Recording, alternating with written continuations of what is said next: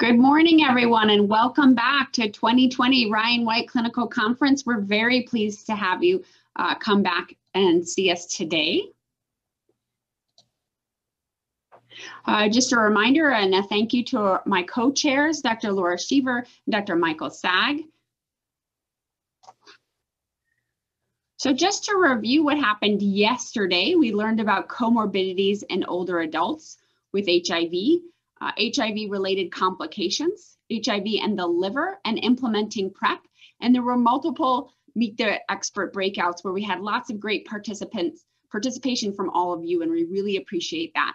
Um, today is STI day, so we're gonna learn about sexual health in adolescents, syphilis, gonorrhea, and chlamydia, and we also have Meet the Expert breakouts today. So great news. Historically, when we do webcasts, uh, they're for the plenary lectures only.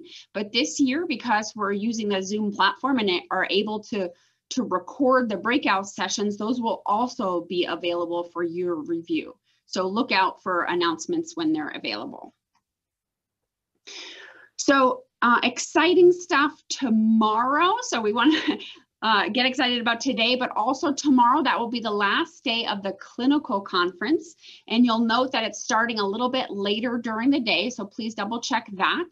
Um, we really want to make sure that you make it to the end uh, tomorrow to hear uh, the HIV epidemic panel discussion um, on ending the HIV epidemic with uh, Dr. Cheevers, McRae, Cargill, and Holberg. So looking forward to hearing that and having you all participate. So a reminder about the CME credits. So again, there are multiple profession uh, continuing education credits available and your participation will uh, lead to you being able to get these credits. However, they're not available after each day. They're going to be become available to you at the end of the conference. So the, this clinical conference goes through Wednesday. And so after the conference ends on Wednesday, then you will be able to access your continuing education credits. So a reminder about the platform tools available to you. So one is my schedule. So that'll help keep track of what's coming up for you and which breakout session you, you signed up for.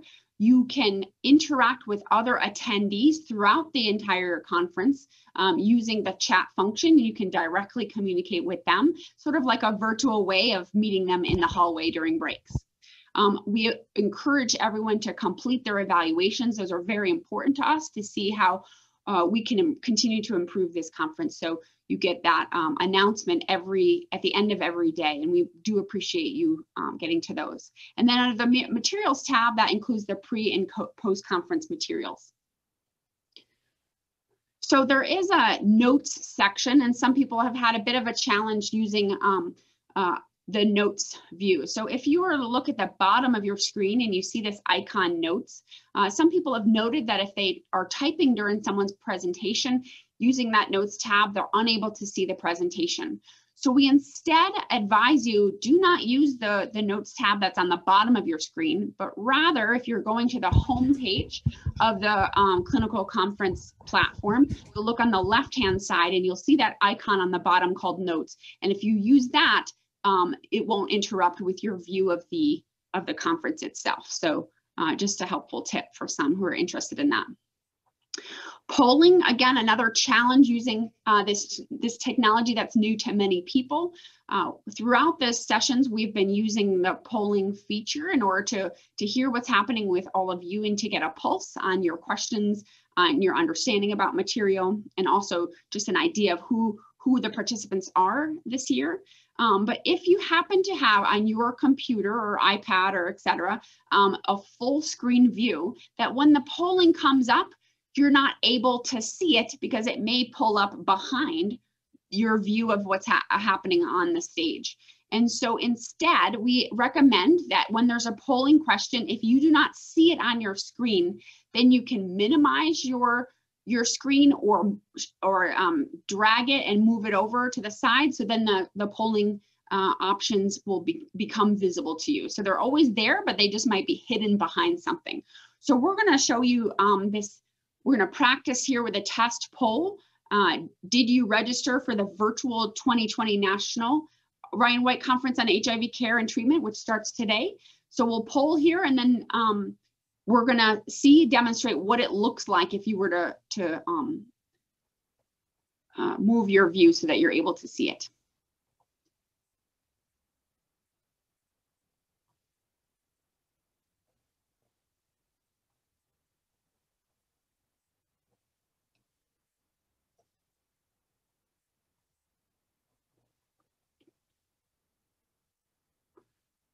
Terrific. So you should be seeing the poll up uh, on your screen and the and the results as well. Um, and so just an example of, of just moving your, your full view out of the way so that you're able to see it. Hmm.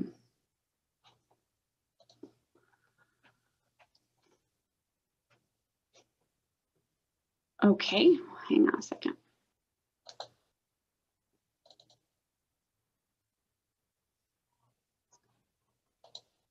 Okay, thank you for that. So many people are joining the, the next conference, which will be really exciting. There's a very chock full agenda of some really exciting um, presentations. So a reminder about the, the National Ryan White Conference on HIV Care and Treatment. This again starts today. The opening session uh, starts right after the clinical conference ends. And so the end of um, tomorrow, um, will be the panelists, I'm sorry, the end of the, the day, the meet the breakout sessions. Uh, 15 minutes after that, the, is the opening session for the national conference.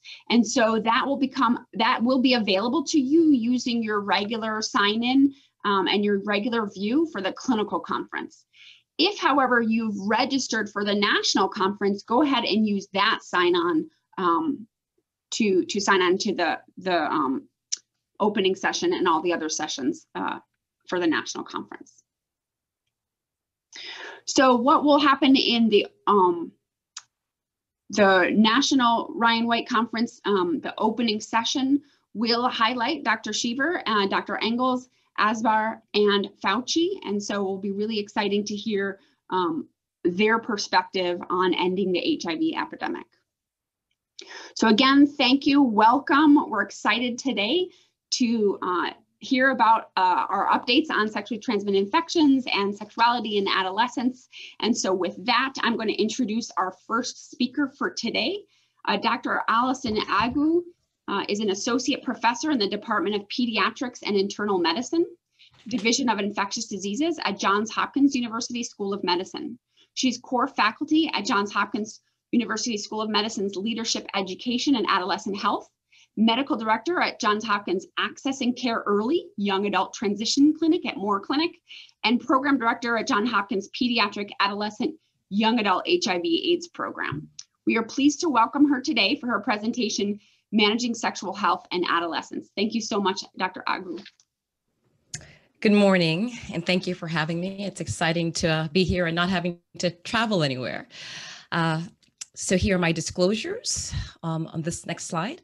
And uh, the learning objectives for today are threefold. One, to describe the reasons for increased risk of STIs among and HIV among adolescents, but also really importantly to list important aspects of a detailed sexual history for adolescents, including importantly sexual and gender minority adolescents, and then identifying approaches to improving sexual health among adolescents, a task for all of us.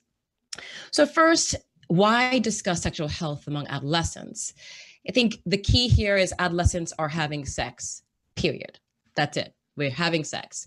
Now, the Youth Risk Behavior Survey, which is done every few years among high school students in 9th to 12th grade, showed that 40% had of adolescents had ever reported having sexual intercourse, and 10% of those had reported having four or more partners. Now, 30% of those who had had sex reported during the prior three months, and of those, about half of them had not used a condom with that last sexual encounter. 14% did not use any pregnancy prevention. And about a fifth of them had used alcohol or drugs before that last sexual intercourse, again, impairing in judgment. 7% had been physically forced to have sex when they did not want to. And with all of that, only under 10% had ever been tested for HIV. Now, youth are at increased risk for STIs and HIV, and I think important for us to really go through why they're at increased risk. So first, there is some biologic risk. Anatomically, for young women, the uh, the cervical uh, endocervix goes from being columnar cells, which are more permissive to STIs and, and trauma, to then squamous epithelial cells, which are more protective.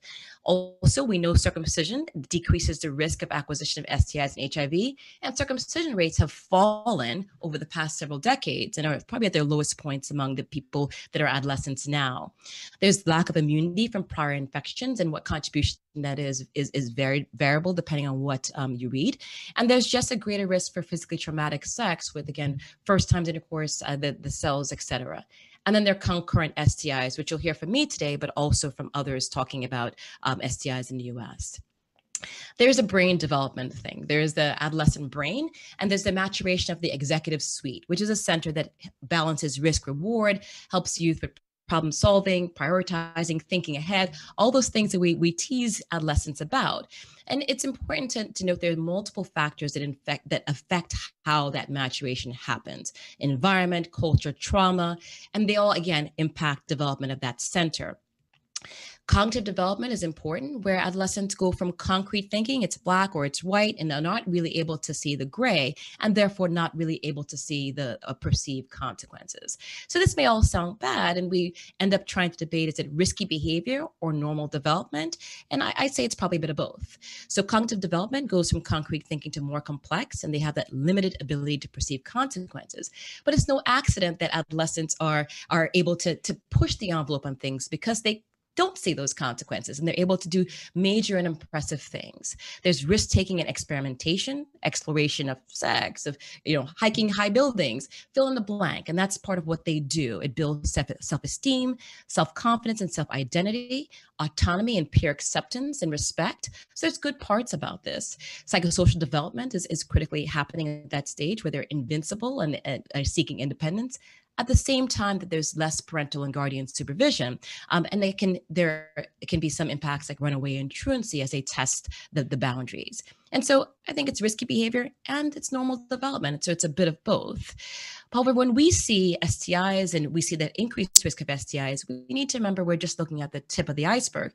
And there's so many things underlying why an adolescent may present with an sti everything from values beliefs assumptions environments etc then are, are contributing to where we're seeing the STIs.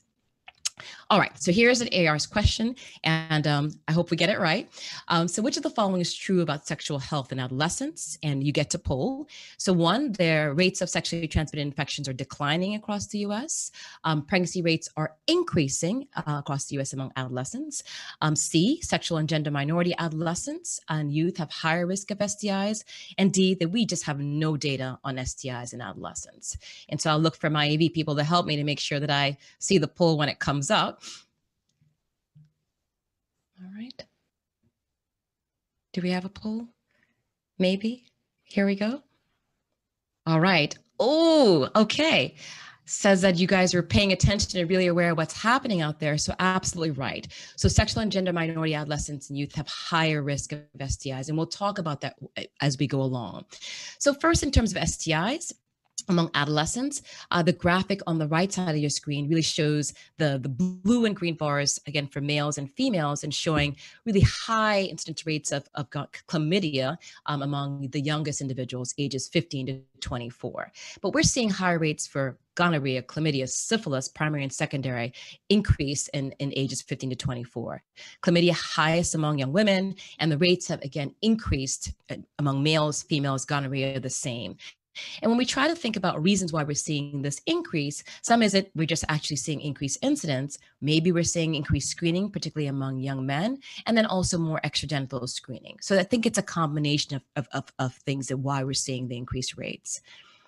HIV among youth. Youth have continued to represent about one in five of new, all new HIV diagnoses. Um, this data is from 2017. And about half of those infections are seen among African American youth, um, which is a huge disparity in terms of what proportion of the population they make up. Um, Dr. Agwu? Yes. I, I apologize. We need you to reshare your screen so we can see your slides again. Oh, what happened? Sorry, when we bring up the polling, we have to have you reshare each time. Okay, sorry about that. I got all excited and kept going. All right, so HIV among youth, um, again, as I was saying, one in five. And then we're seeing the large majority of, of infections occurring in young men who have um, sex with men or same gender loving um, males. So when we look at the the incidence rates and we look at these graphs, essentially again in the sort of the turquoise line or our, our MSM or male to male sexual contact, which we recommend rep, represent the highest proportion of diagnoses, and then in heterosexual contact in the purple, and then in the insets uh, uh, male to male se- sexual contact and IDU and injection drug use. But importantly, when we look at there are about 51,000 youth with HIV, and it's thought anywhere from 40 to 50 percent of them are unaware of their HIV status.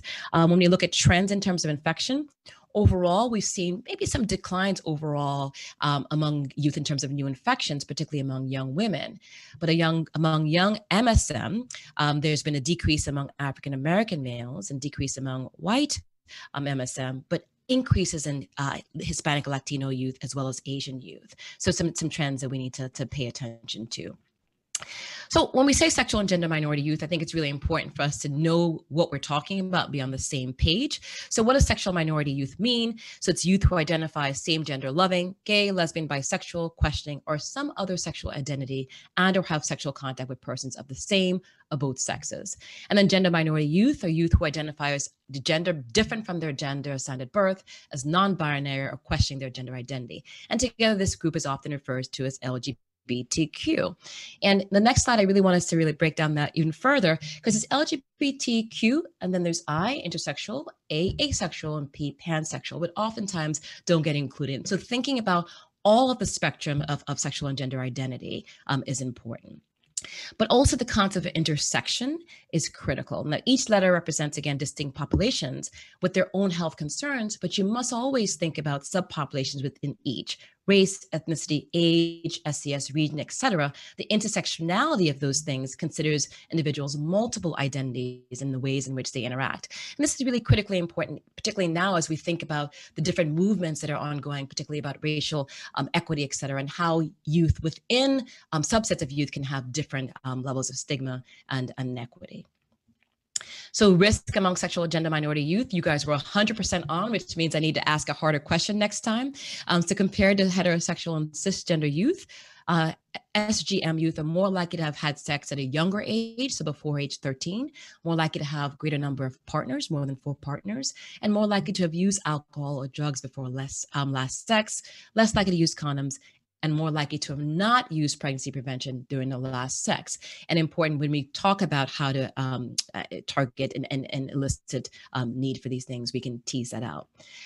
Young transgender men and women have the highest rates of HIV and STIs compared to um, other SGM youth, and increased HIV STI risk may be associated with commercial or transactional sex, unemployment, substance use, violence, incarceration, a number of, of, of, things can, can underlie that. And then HIV prevalence among transgender women is often is discussed, but HIV prevalence among transgender men may be relatively low, but a 2011 study suggests that transgender um, um, MSM are at higher at higher risk for also acquiring HIV. So something to also think about. So what can we do? I think it's really, I, I, I, talk doom and gloom, but then it's what can be done to assess and decrease risk because we're seeing this youth and how can we address them? So first, annual preventive health visit is really key.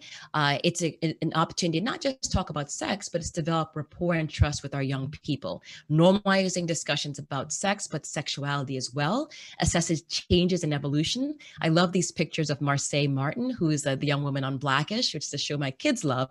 But really over the past eight years, you've seen her go from a little bright-eyed, uh, basically toddler to a young, mature woman and all the changes that occur in that. And if we have the same discussions at seven that we do at 14, we're missing something. So thinking about how we evolve with the person in front of us.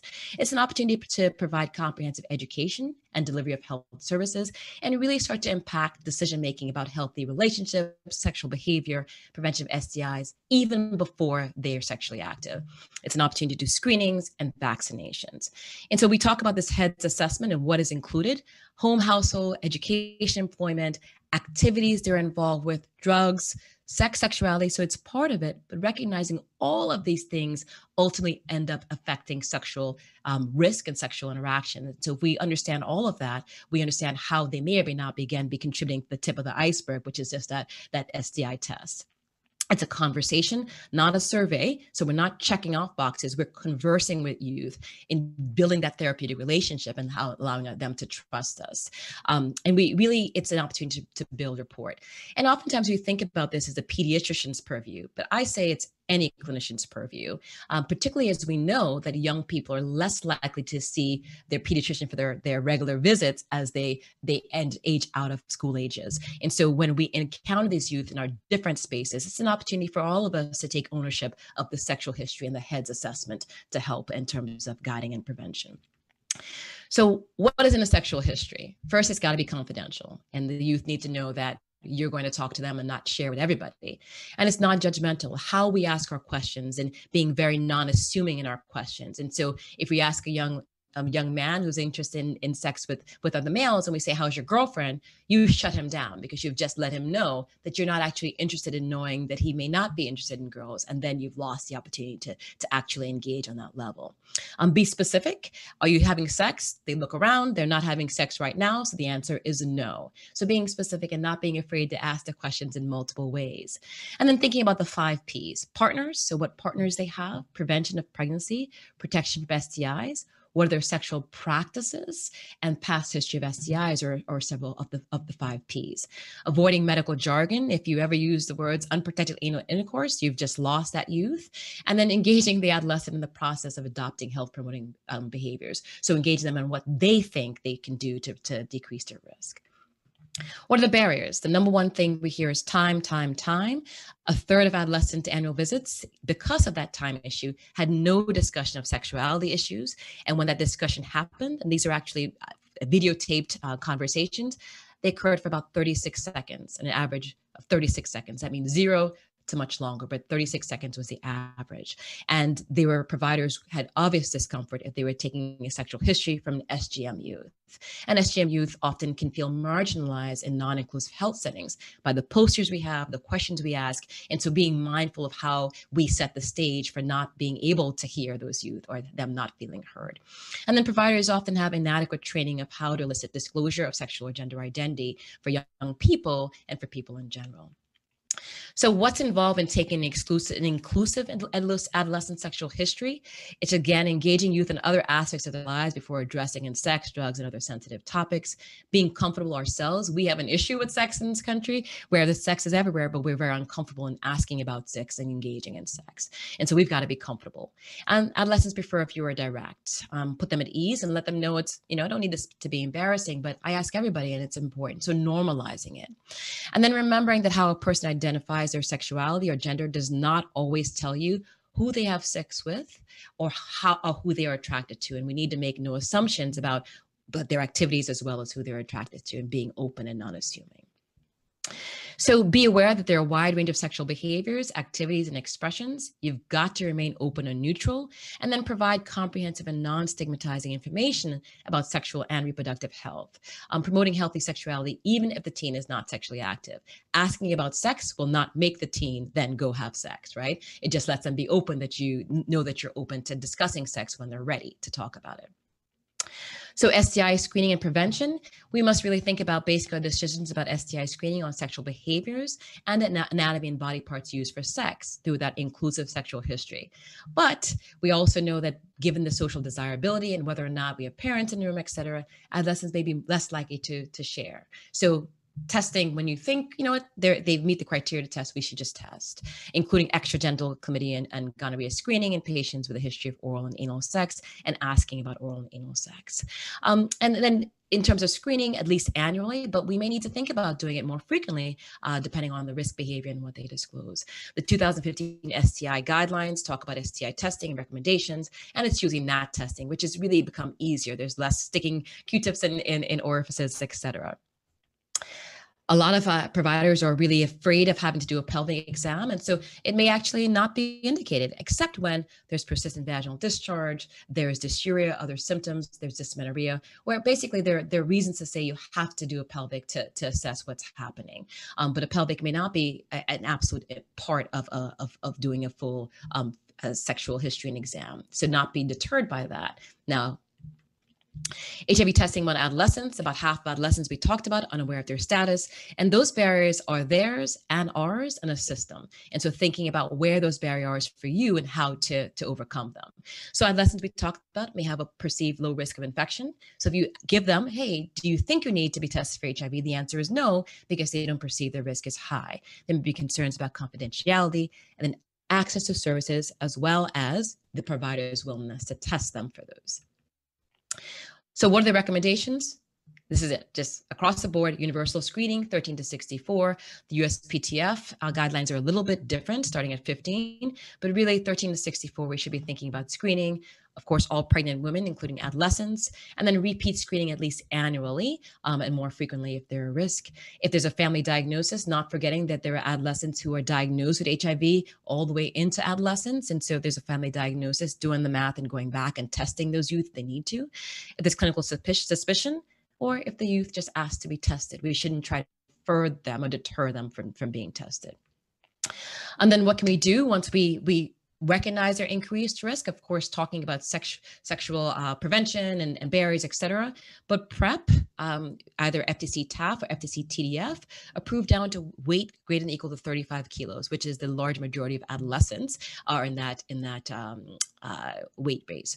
Recommend, re remembering that FTC TAF is only approved for individuals not born with a vagina.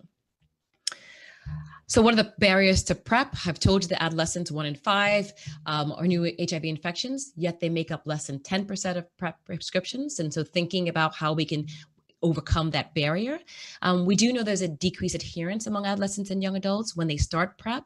And so thinking about how we can support adolescents to take PrEP instead of saying adolescents shouldn't get PrEP. Um, re remembering that the, the barriers that impact uh, the things that impact HIV acquisition and STI acquisition also impact PrEP acquisition. Um, and so thinking about how to address those, uh, knowing what our minor consent laws are and, and most youth can, can consent for PrEP. Um, there are concerns for confidentiality in terms of testing and, and what lab reports show, et cetera, and knowing what those are as we counsel our young people. And there's barriers to disclosing same-sex behavior or sexual risk behavior. So concerns that if they say they want PrEP, that means that they are now disclosing their same-sex behavior and the potential stigma that be related to that and recognizing that and addressing that. And then there's just lack of access to comprehensive, culturally and developmentally sensitive care. And so how can we overcome those barriers? Family planning and reproductive health. So pregnancy among adolescents, you guys got it right, has actually declined significantly, about 64% between 1991 and 2015. So major decline in, in, in, in pregnancy among adolescents. However, even with that, the large majority, 80% of adolescent pregnancies are unplanned. And so we need to be thinking, just like when we're thinking sexual history, et cetera, and counseling, non-judgmental, empathetic, non-threatening, engaging, supportive, and not assuming an adolescent who defines or identifies as a, a an SGM may not have any risk for pregnancy and actually thinking about that and including that in our in our questioning all options for family planning and reproductive health should be available to all adolescents, including abstinence. So not just targeting one thing and, and having that be your, your one song. The reason for the decline in, in pregnancy rates is, is likely related to some of the ease in what we provide, including the long-acting reversible contraceptives. And you know, there, there no, there's no contraindication to using that in adolescents and, and thinking about removing the need to remember daily thing, et cetera, has been really important. So in terms of family planning and reproductive health for SGM, again, it's important to have open discussions with all youth, including SGM youth, about reproductive health and family planning. Sexual behavior and sexual identity are not always aligned. And so not making assumptions. Many SGM may have sexual encounters that may not be predicted by their orientation. And so therefore conversations about birth control is really critically important. Uh, and this actually was an op-ed looking at actually pregnancy among youth who identify as, as, as queer. And so being thoughtful about, you know, asking the questions in a way that are non-assuming um, to address all. We have another uh, ARS question, and that's intersexual history, which of the following is not one of the five Ps. Um, so I'll pause and let you tell me that, and then I will remember to share my screen again.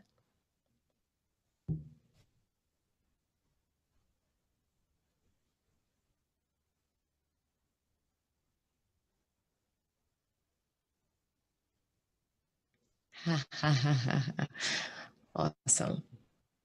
Okay, yes. So you all are listening, which is great. Um, and I had the opportunity to see the question that the, the comment that, that somebody wrote. Absolutely. Uh, pleasure should be one of the P's. It's not normally listed, but it actually should be because I think we have to be very mindful about there there are actually benefits to sex. It's, it's it's actually pleasurable, and if we try to make it so clinical for adolescents, they're less likely to engage with us. So, but yes, pleasure is one of the five P's. Pills is not, and you guys got that right um, with ninety five percent of you getting that right.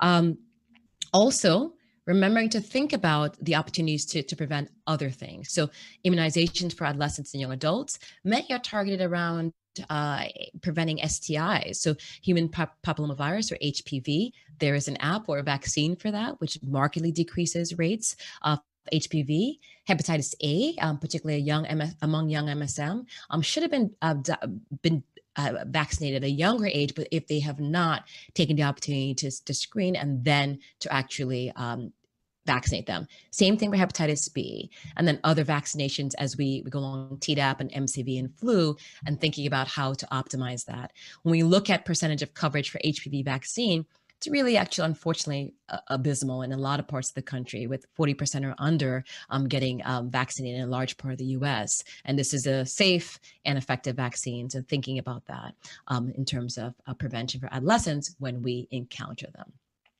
um, so looking forward, I was worried I wouldn't get through all of it. Uh, looking forward to, to question and answer um, as we move forward. Thank you. Thank you very much, Dr. Agwu. That was a really excellent presentation and with really important information. Um, I really want to thank you for highlighting uh, the that healthcare providers need to normalize discussions on sexuality with adolescents, and that we can play a role in how teens view their sexuality and can create a safe place where they can discuss their questions and concerns. So I think we often, because we recognize that teens are so strongly influenced by peers and social media, that sometimes it feels overwhelming like, well, what can I do as a healthcare provider in my 15 minute visit that can help create a safe place? But we really can.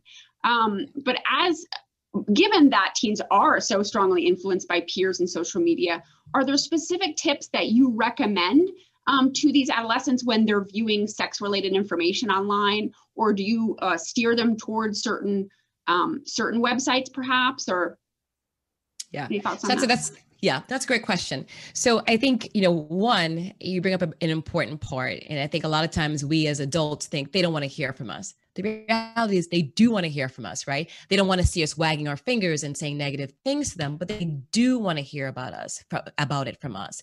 And so that's why starting at an early age and normalizing conversations and showing your willingness to talk about it, they're more likely to come to their appointment with, oh, Dr. Agwu, I heard this and I want to make sure that's true or not true, and asking them where they get the information. And at times in our appointments, I actually will say, well, show me, show me that website and letting them share what, what they're, they're seeing and where they're getting getting information and then allowing them to become ambassadors by arming them with the right information they can then go out and share with their friends.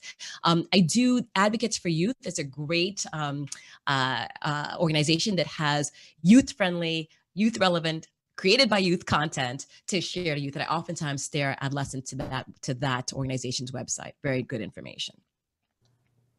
Excellent, thank you. We have an audience question. Um, how do you approach asking about and explaining gender identity to younger adolescents, presenting to the office with possible gender nonconforming clothing or behaviors. Do you have a script that you'd like to share with the group? Yeah, so you know, I don't have a script that I actually share. I think what I do, I can I can tell you my approach, and I'm happy to to see there's the Advocates for Youth has lots of really wonderful, and, and there are other um, SIECUS has a lot of uh, information that's helpful for providers who sort of need a script.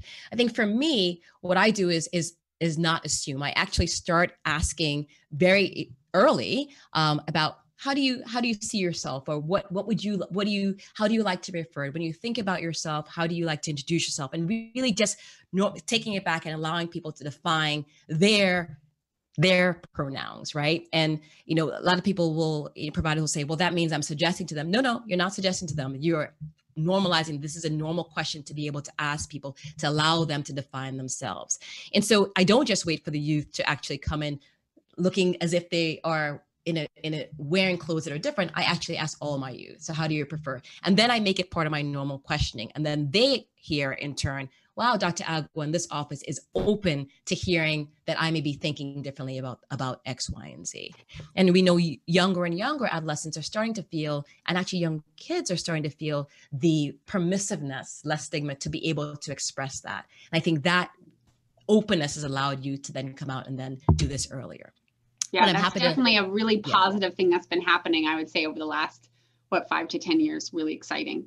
Um, yes. Some additional audience questions, somewhat related to what you were talking about. What screening questions do you ask adolescents to elicit sexual and gender identity? So you talked a bit about gender or uh, gender identity, um, but for sexual preference, what are the genders of your sexual partners? Do you identify with the sex that you were born as? Um, perhaps a, a little bit more, if you could talk about that, please. Sure. So sometimes I, I, I start by you know you're asking about school and activities, etc., and then I will say, well, well, tell me when when you see your ideal partner, right?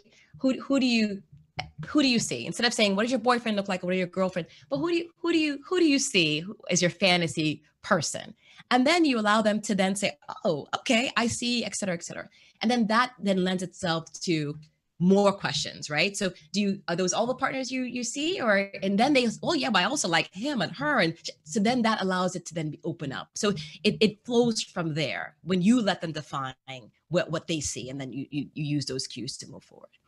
Great. A really relevant question here, and I bet a challenge in some cases. How do you handle getting the parent to leave the room so you can have a more open discussion with teens? Yes. So it's a great question, you know. And now, as I parent a 10 and a soon to be 13 year old, I find myself having angst about leaving the room. But I set it up very early. So we basically say, and I start around 10 years of age, I say, you know, so and so is starting to reach the age that I give them the space to have conversations with me alone because sometimes they're a little embarrassed or don't want to talk about things with you. So I don't start when the kid hits 13 or where I'm suspecting something's going on. I introduce it actually fourth, fifth grade, they get some time. So they can start talking about hair under their armpits, etc. And then it gets to the point where the kid's like, all right, mom, time for you to hit the road so I can talk to that to Agwu, right? So, so you set it up. It's rare that I have a parent that absolutely refuses to get out of the room. It occasionally happens. And then you you sort of say, well, this is, you know, you, you mention the laws, you mention what they have a right to do. Um, but I, that oftentimes doesn't happen if you set it up at a very early age. And what about for a provider who, let's say, has not been their primary care provider and maybe it's a consultant or a walk-in clinic or something else like that? Um, what what guidance would you give that provider to get mom or dad or guardian out? I think it's the same thing. So in my, in, I have my HIV and, and STI hat, but I also have my general PEDS ID hat where we have kids come in for, you know, Lyme disease, et cetera. And I say the same thing so and so is you know a certain age and i'm going to also give them time to, to answer questions on their own. And it's amazing it's amazing how oftentimes when those parents leave the room things are elicited. So the kid who has lyme and depression actually is questioning their sexuality and is, is depressed because there's no room for them right? And then you can feed back to the, the pediatrician or the provider to help that. So i just make it a, this is a normal part of what we're going to do. And it's not related to your kid it's what i do for all kids Great, thanks. Uh, a logistical question. How much time do you allow in your practice for these sort of interactions? Um, that's a, yeah. yeah. so that's a really good question. And I, and I think, you know, certainly we are balancing um, so many uh, what's what i'm looking for um, restrictions and and demands on our time right and we're you know all the screenings the blood pressure et cetera that we're doing i would say that the large majority of kids those things are really probably this much and the the sexual health and psychosocial are that much. And so i just prioritize it you know so you know we go through school et cetera and then i just say you know what? We're going to ask it. And then if if there's some things that i need to ask again is schedule a follow-up to do it right? So you just say that you're going to ask it just like everything else is a priority this is a priority too. Thanks. Another important logistical question. When prescribing PrEP for adolescents or young adults, or we could say even STI screening or treatment, um, that are for those adolescents or young adults who are still on their parents' insurance, how do you address the explanation of benefits letter, uh, which can include specific medication names that insureds send the primary insurance and holder, which may be a, a, a way that um, of unintentional disclosure we Yeah. Mhm. So this is something we deal with all of the time. And I think certainly um, the clinic that I work in, we're, we're lucky enough to have Title 10 funds where we can actually not have it go on the, the parents' uh, insurance.